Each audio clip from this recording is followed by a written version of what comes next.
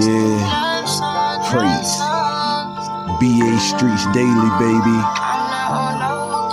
Yeah. Baby, I've been peeping. You ain't been the same. Like, who been on your mind? Uh-huh. Who got your time? Who you been rocking with? Uh. keep in your mind? Girl, you the only one for me. Girl, you the only one for me.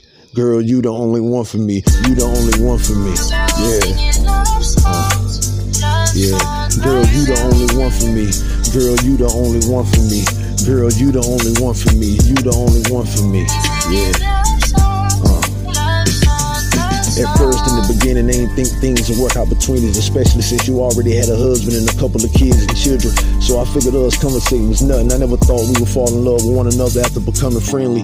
But that's exactly what the both of us done, and I don't feel guilty. Nor do I regret one moment of it either. And as time went along, those days together became months, and eventually those turned to years. And I was always told we can control who we love, but in the end, it's up to us to hold our own emotions in. So when your husband up and disappeared, I gave you a month to try to reconcile your marriage and fix it for the kids. But it was just stressing you out. Plus, we had already had sex by then, and you already confessed I fuck you better than him. I even built a relationship with the kids. They can even tell now that you smile more than you ever did when he was here. Matter of fact, they said you barely did when he was there. Plus, he didn't work and wouldn't help take care of bills. But you just was trying to make sure your family life worked well. And he still ran off with someone else. He ain't worth a damn. But now he want his wife back and said he want to make it work for the kids.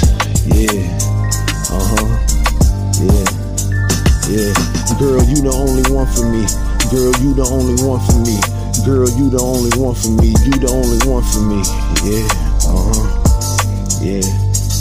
Girl, you the only one for me. Girl, you the only one for me. Girl, you the only one for me. You the only one for me. Yeah. Uh huh. Ah, praise. I miss my cocoa